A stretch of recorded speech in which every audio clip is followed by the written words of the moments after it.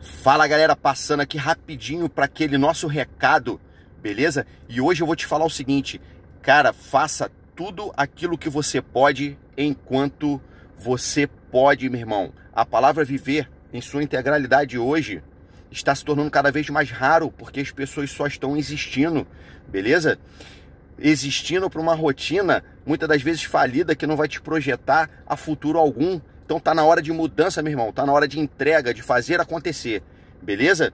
Martin Luther King tinha uma frase muito bacana que ele falava o seguinte: se o homem não descobriu ainda porque morreria, ele não está pronto para viver. Beleza? Então vamos fazer acontecer. Se move, beleza?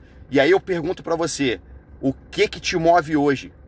O que que te levará a um futuro de abundância? Beleza? Lembre-se, Deus projetou para nós vida em abundância, vida em abundância no financeiro, na família, no trabalho, beleza? Então tamo junto e seguimos atirando com força.